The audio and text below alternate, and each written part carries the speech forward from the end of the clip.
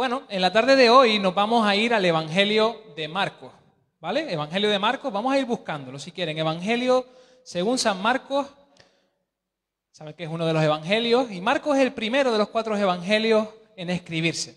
El Evangelio de Marcos es un evangelio que se desarrolla a gran velocidad, es un evangelio de acción, donde el énfasis no se centra tanto en los discursos de Jesús, sino en sus acciones, en lo que hace. Aunque sí veremos a Jesús también enseñando y hablando por medio de parábolas. Las parábolas son esas historias pequeñas, esas historias ejemplares y cotidianas. Y hoy vamos a ver dentro de este Evangelio de Acción una historia que transcurre en la ciudad de Capernaum. Capernaum, que pertenece a Galilea, era un antiguo pueblo pesquero ubicado en las orillas del mar de Galilea. También es conocido por los cristianos como la ciudad de Jesús, porque aunque Jesús estaba y había sido criado en Nazaret, pasó muchísimo tiempo en la ciudad de Capernaum y comenzó su ministerio prácticamente allí.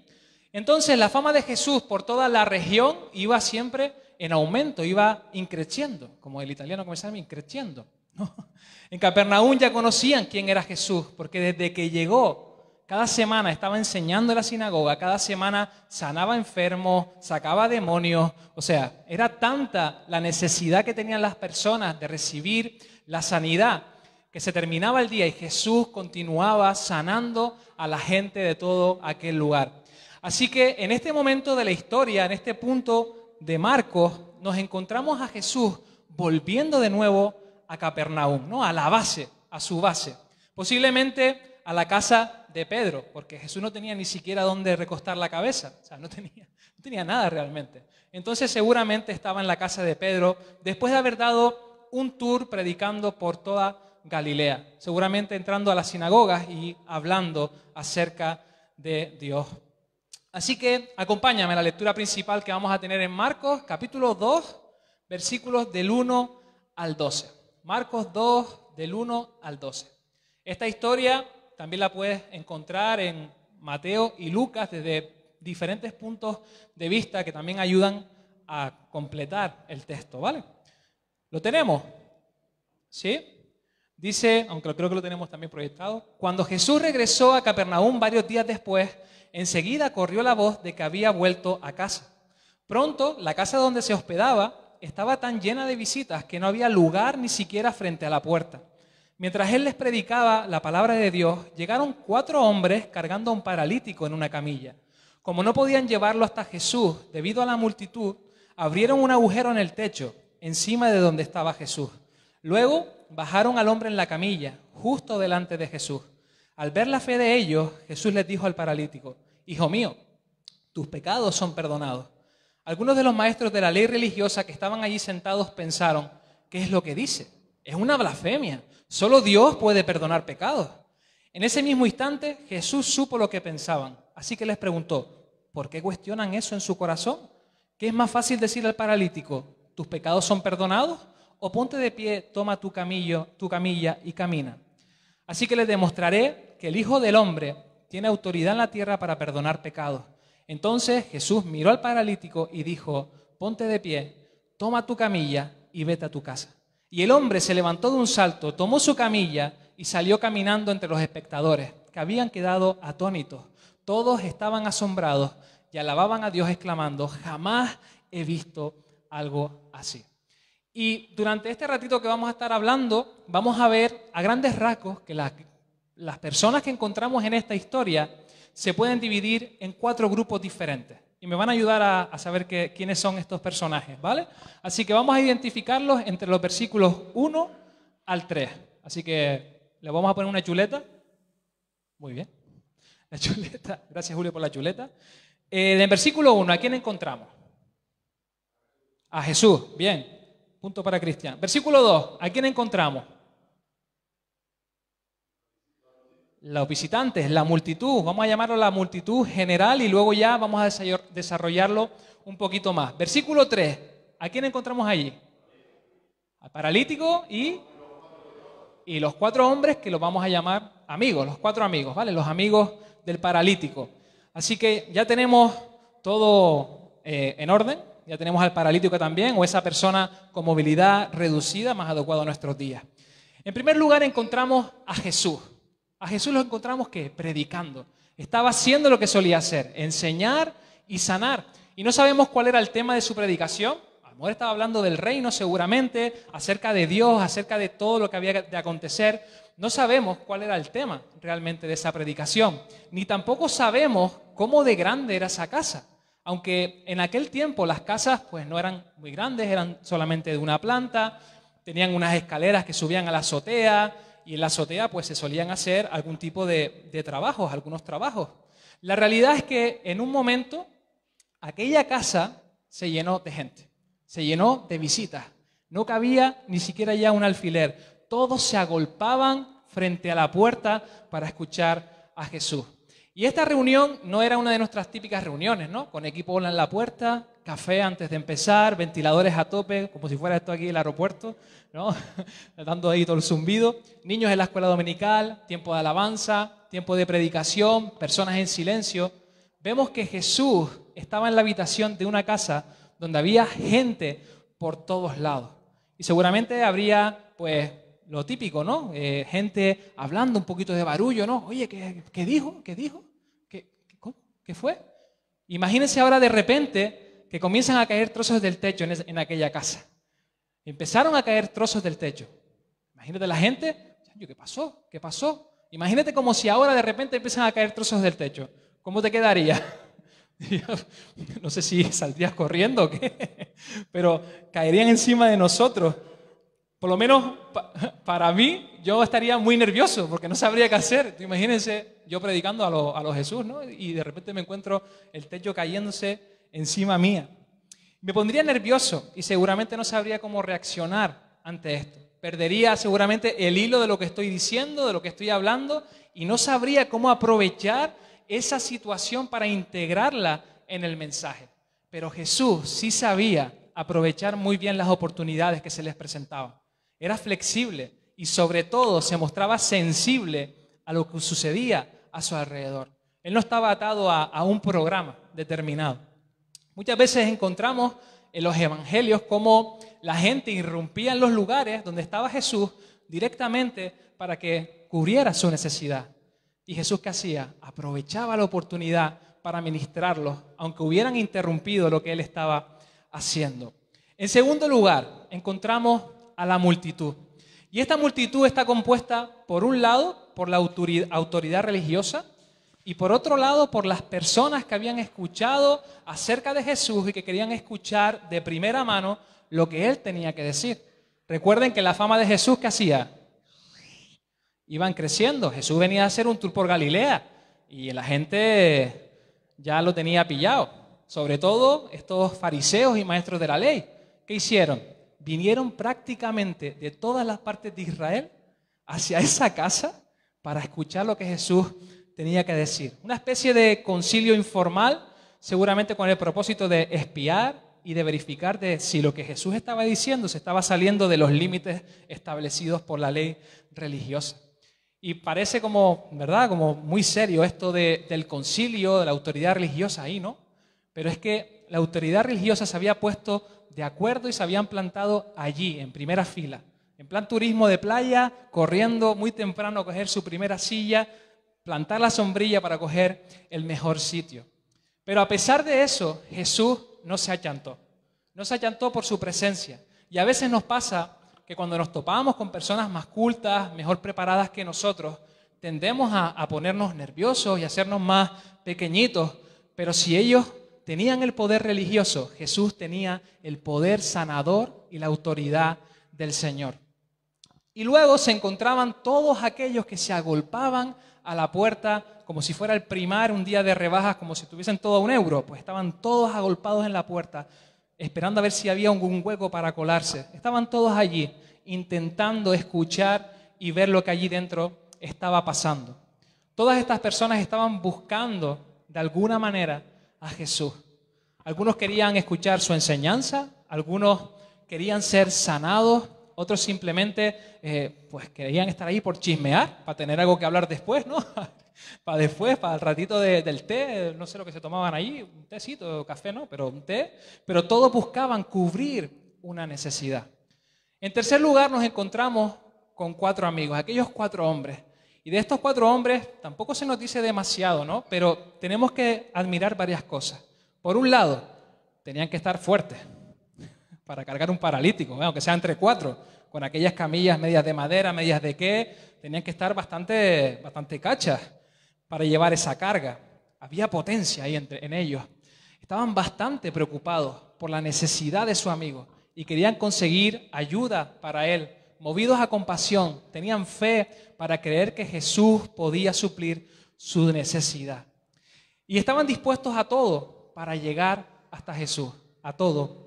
Y en cuarto lugar nos encontramos con el paralítico, un hombre que se encontraría desesperado por poder acercarse a Jesús queriendo de alguna manera alcanzar esa sanidad de la que había escuchado seguro oír de otros, de otras personas. Un hombre despreciado por la sociedad, por su enfermedad, porque según se creía en la sociedad que lo rodeaba, si estabas enfermo era por algo. Si estabas enfermo era porque habías hecho algo o habías cometido un pecado o tu familia, tus padres habían hecho algo malo y eso repercutía en tu vida. Era una cosa directa, ¿no? Así que te, que te ocurría. Un hombre que debido a esta condición estaba condenado a depender de la gracia y la misericordia de los demás para poder comer, para poder atenderte, para poder asearte, desplazarte. O sea, no podía hacer nada sin la ayuda de nadie, de los demás. Para todo dependía de otros. Las personas enfermas eran consideradas impuras, no podían participar en el templo, no podían participar eh, eh, en muchas actividades, de las actividades de la vida religiosa. Se les aislaba, se les echaba a un lado, incluso se les prohibía entrar en las ciudades. Por eso en muchas historias los encontramos a las afueras de la ciudad, ahí, venga, a las afueras, en los caminos, donde solo podían pedir limosna y, y poco más. Estaban ahí a expensas de su, propio, de su propia suerte. Así que dentro de lo que cabe, este hombre era muy afortunado. Era muy afortunado porque tenía personas que se preocupaban por él. Aunque quizás él se sentía desahuciado, se sentía sin remedio, quizás había perdido la esperanza de anhelar una vida mejor, pero a pesar de eso no estaba solo. Sus amigos eran sus piernas y tuvieron la valentía de hacer lo que hiciera falta hacer para que Jesús lo sanara. Y pensando e, e, en esto, ¿no? Eh, hay cuatro tipos de personas. ¿Con cuál de ellos te, te identificas tú? ¿Con cuál de ellos te identificas? ¿Con Jesús? ¿Con la multitud? ¿Con los amigos? ¿Con el paralítico? ¿Eres como Jesús? Jesús aprovechaba las situaciones que se producían y lo hacía de forma natural. No era forzado, era algo natural. Y a veces dejamos pasar muy buenas oportunidades para ministrar porque creemos que no es el momento o que no se dan las condiciones perfectas e idóneas para ello. Jesús, sin embargo, vivía reaccionando a lo que veía y observaba a su alrededor. Y a veces es una oración que repetimos mucho, Señor, danos oportunidades cada semana de poder hablar de ti, de poder testificar de ti. Por favor, Señor, muéstrame, por favor, Señor, yo sé, lo que, lo que ustedes le digan a Jesús, ¿no? Eh, y a veces lo oramos mucho, oportunidades, oportunidades, personas con las que compartir. Pero cuando llegan esas oportunidades, igual que llegan, las dejamos pasar. Necesitamos abrir nuestros ojos, afinar nuestra mirada y ser sensibles a las oportunidades que a veces surgen en los momentos y con las personas que menos esperamos. Jesús estaba haciendo lo que tenía que hacer. Estaba haciendo lo que realmente tenía que hacer, enseñar y predicar, ministrar. No se le vino el programa abajo ni se ofuscó porque le habían interrumpido su predicación. Podía haberlo hecho, ¿no? Pero no lo hizo, sino que aprovechó el momento aquel que vio lo que estaba pasando ahí arriba, que vio bajar a ese paralítico para cubrir la necesidad. Eres como la multitud. El texto nos dice que la gente empezó a juntarse cuando oyó que Jesús ya estaba de nuevo en Capernaum, que Jesús ya había vuelto a casa. Nadie salió a convocar a la gente, nadie salió con altavoces, no se anunció la llegada de Jesús en un coche, no se realizó una campaña a lo grande para que toda aquella población supiera que estaban por realizar una reunión que podía ser de beneficio para ellos. No realizaron una campaña en Facebook, tampoco había, ¿cierto? Te lo compro. Ni invirtieron tampoco dinero en darle publicidad, ni un cartel, ni siquiera una cuña en la radio o una lista de difusión por WhatsApp. Simplemente se corrió la voz de que Jesús estaba en la ciudad.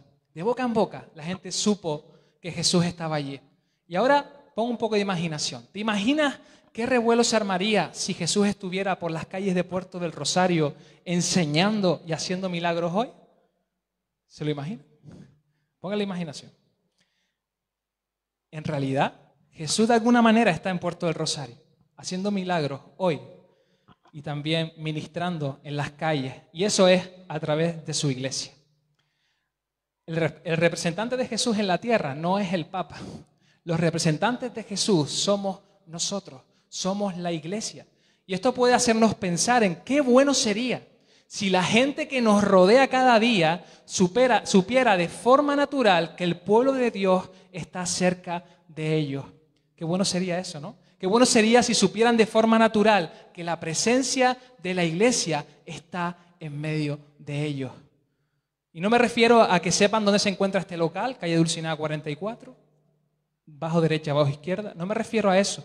Me refiero a que sepan que la iglesia, que tú y que yo estamos presentes, porque a veces estamos ausentes de la sociedad. Que hay representantes, que hay embajadores, pies y manos de Jesús cerca de ellos, esperando ver esa necesidad para ministrar, para echar una mano. Que la gente pueda conocer y ver a Jesús no solo por nosotros, sino a pesar de nosotros no sería tanta, no, sería, no haría tanta falta, ¿no? Tanta publicidad, tanto bombo y platillo de todo lo que hacemos y de todo lo que Jesús quiere hacer y decir, si tuviéramos ministerios que fueran efectivos y que impactaran también de lleno en nuestra ciudad. ¿Cómo cambiaría la perspectiva de la gente, verdad? La, perspectiva si nuestras vidas fueran cartas abiertas si fuéramos cartas abiertas, si realmente entendiéramos la importancia de ser coherentes con lo que creemos. No soy lo que digo, soy lo que hago. Ser brazos abiertos, ser brazos extendidos a las personas, dispuestos a escuchar a otros, conocer su historia, pasar tiempo con ellos, conocer sus necesidades, porque para suplirlas primero hay que conocerlas. Y si no pasas tiempo con ellos, no lo vas a poder conocer, con el propósito de que también conozcan nuestra historia. Porque si nosotros tenemos un encuentro con Jesús, hay una historia que contar. Aunque sea muy, espectacular o menos espectacular, Dios transforma a cada uno de nosotros. Tienen que conocer lo que Jesús ha hecho en nuestras vidas. Y miren, la multitud que se agolpaba a la puerta escuchando a Jesús, a veces se parece también mucho o un poco a la iglesia. Estamos tan enfocados en lo que pasa aquí adentro en nuestras reuniones, en nuestras actividades, en si fulano o mengano vino o no vino, en nuestra liturgia, de cómo lo hacemos, si así, si asado, que le damos la espalda al mundo y a los necesitados. Como aquella multitud lo estaba haciendo con aquel paralítico. ¿Dónde estaba mirando la gente? ¿Hacia el paralítico o hacia, o hacia lo que estaba pasando allí? Que a veces yo creo que no ni se estaban enterando de lo que estaba pasando. Pero es que allá atrás había una necesidad que cubrir, pero no eran capaces de mirarla, no eran capaces de verla. Estamos tan a lo nuestro siguiendo nuestros programas, calendarios, que a veces no tenemos esa sensibilidad de abrir espacio a aquellos que necesitan llegar al Señor. Menos mal que la sanidad de aquel hombre, de aquel paralítico, no dependía del corazón compasivo de toda aquella multitud. Menos mal, sino de la insistencia de los cuatro amigos. Pero mira, ojalá que el Señor nos permita tener y usar esa sensibilidad que no obliga a los demás a hacer piruetas para poder acercarse a Jesús. Ojalá que ayudemos a construir puentes y no muros que obliguen a otros a tener que hacer agujeros en el techo para poder llegar a Él. Y aunque la iglesia dé la espalda a la sociedad, el mensaje, que Jesús, el mensaje de Jesús siempre será accesible. Siempre habrá una forma de que el mensaje de Jesús llegue a la gente.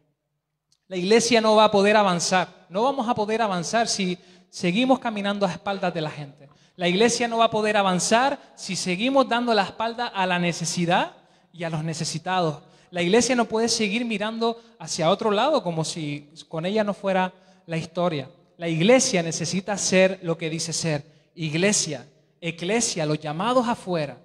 No estamos llamados a reunirnos todos aquí para hacer mucha luz, ¿verdad? Y gustarnos mucho entre nosotros mismos.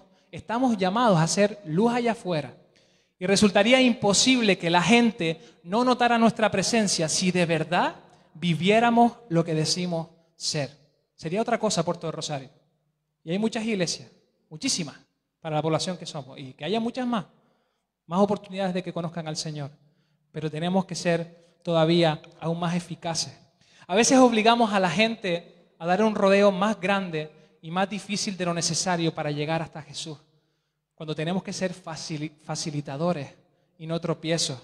La iglesia se convierte muchas veces más en un obstáculo que en un medio, ¿no? que en ese puente para que otros conozcan y escuchen y lleguen a Jesús. Eres como los amigos. ¿Qué amigos más guay tenía el paralítico? Tenían unos buenos amigos. Eran fantásticos. Y yo no sé si a ustedes les ha pasado que quizás están pasando por una situación mala, ya sea personal, emocional, económica, quizás algo tan básico como que no tienen para comer. Y alguien muy espiritual viene y les dice, pero a ver si me sale, pongo la cara así como, hermano, hermana, no pasa nada, todo va a salir bien, todo va a salir bien, todo coopera para bien. Voy a estar orando por ti. A las 5 de la mañana, no, no, no me des la mano. A las 5 de la mañana voy a estar levantándome para orar por ti. A las 5 no, a las 3. Pues porque tomo el brazo de agua y después empato el sueño, para que no se me coja ahí a media. Pero voy a estar orando por ti. Todo, o sea, como dice, lo mejor está por venir. ¿Sí? Vale. Y claro, nos viene este hermano, esta, hermana, con toda la fe del mundo, con toda la buena fe, y se va muy orgulloso como si la buena obra ya hubiese estado hecha pero a ti te dejan peor de lo que estabas al principio. Porque no se trata de palabras, se trata de hacer hasta donde uno puede hacer. Si alguien no tiene para comer, no le digas, Dios proveerá. Deja que Dios te use a ti como un canal para bendecir a esa persona y dale de comer. No vayas con la Biblia, vete con la cuchara primero. Vete con la cuchara. Atrévete a acompañar a las personas en su necesidad física primero, para luego llevarlas a Jesús a llevar conjuntamente la carga como hicieron estos cuatro amigos. Estos amigos no se limitaron simplemente a orar por el asunto, sino que pasaron a la acción y no permitieron que las circunstancias difíciles los desanimaran. Cargaron, dice la palabra eh, en el original, que cavaron, que hicieron un agujero, o sea, quitaron la teja, dice otra versión, cavaron, bajaron al paralítico, intercedieron por él, confiaron y celebraron trabajaron juntos y se atrevieron a hacer algo fuera de lo común. Y yo no sé a cuál de los cuatro se le habrá ocurrido esa fantástica idea. ¿Ustedes se imaginan esa imagen? Llegan allí, se encuentran toda esa gente. ¿Y ahora qué hacemos? O sea, tengo una idea. Seguro que eran malditos de todo, ¿no? Tengo una idea. Oye, ¿y si hacemos un agujero en el techo? Y el otro salta. ¡Yo, qué buena idea! ¡Vamos! ¡Vamos para arriba! y al final, qué gran idea. Qué gran idea.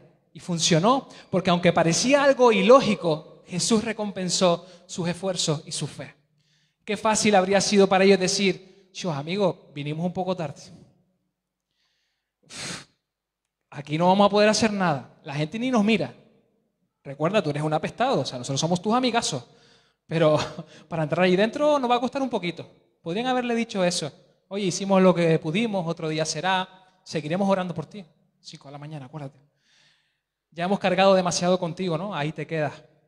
Jesús vio la fe de los cuatro amigos y no sabemos si el paralítico tenía inicialmente mucha fe o no, pero la fe de ellos resultó crucial en esta historia.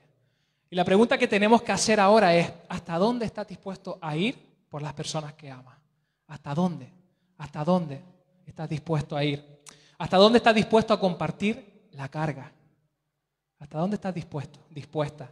¿Harías un agujero en un techo si fuera necesario para llevarlos hasta Jesús?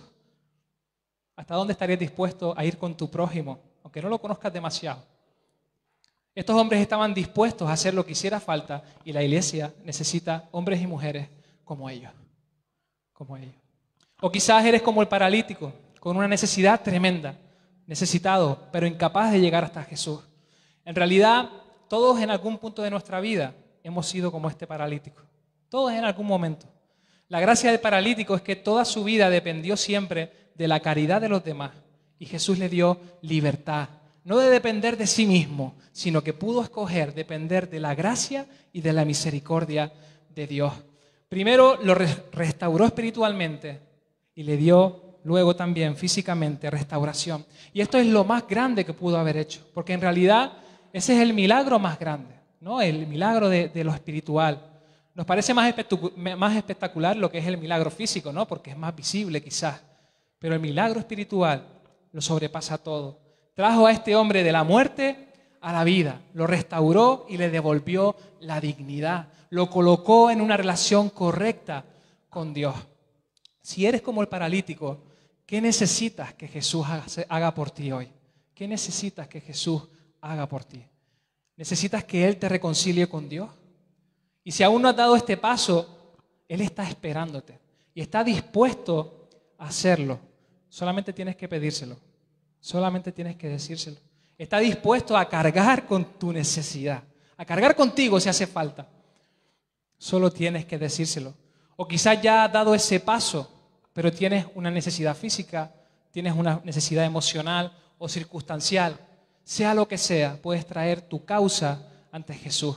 Él quiere sanar y restaurar lo que está mal, pero necesita dar un paso de confianza hacia Él, un paso de fe hacia Jesús.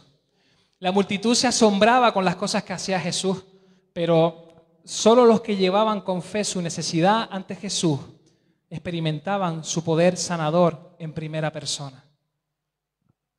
¿Quién eres en esta historia entonces? ¿Quién eres de todos ellos? En realidad te puedes identificar con todos en algún momento de tu vida. Con la multitud, ajenos a la necesidad y mirando hacia adentro, ocupando sitios cómodos y privilegiados, o quizás no tan cómodos, pero distraídos ¿no? de, la necesidad que está a nuestro alrededor. Te puedes identificar con los amigos que ayudan en la necesidad, que construyen puentes, que comparten la carga contigo. Incluso también puedes identificarte con el propio paralítico antes o después de ser sanado. Pero la meta es ser como Jesús, parecernos cada día más a Él. Es estar atentos a lo que pasa aquí adentro sin perder de vista las necesidades de dentro y de fuera. Aprovechando las oportunidades que tenemos, afinando nuestra mirada y siendo sensibles en espíritu para dar a conocer a otros a Jesús. Esta historia acaba, es verdad que hay una trifulca ahí con Jesús y los, los que vinieron a veranear en primera línea de playa, fariseos y demás familia, pero esta historia acaba con una celebración. Jesús primero perdona a este pecador y luego lo sana y le dice que se levante y que recoja su camilla.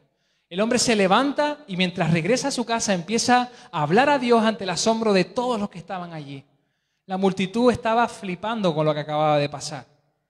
Y para ver nosotros cómo la gente flipa y reconoce a Dios, reconoce quién es Dios y se entrega a Él, necesitamos conectar con la necesidad de nuestra sociedad, ser más empáticos que simpáticos para que haya más motivos para celebrar. Cuando la gente conoce a Jesús hay motivos para celebrar en el cielo, ¿verdad? Hay fiesta y también en la tierra tiene que ser un motivo de, gozo. Hay gozo cuando un pecador se arrepiente.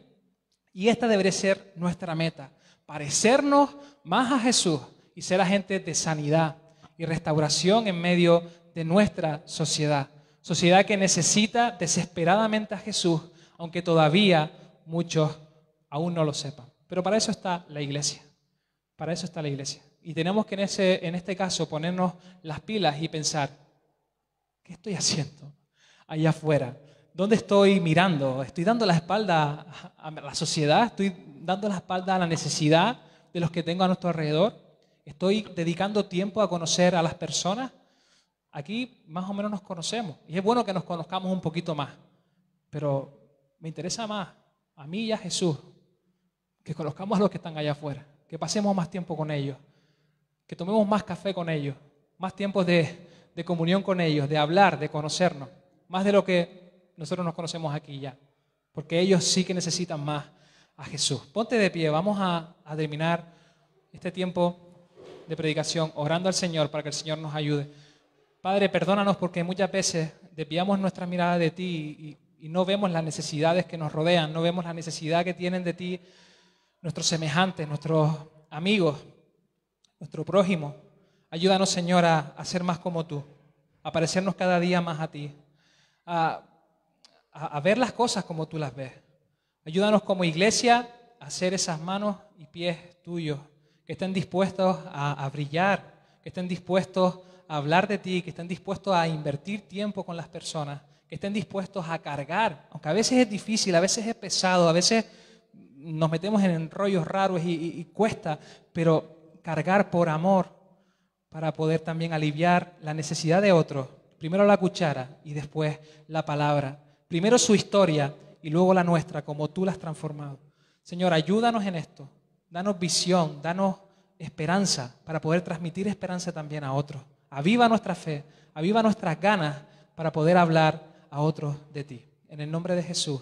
Amén. Que el Señor bendiga.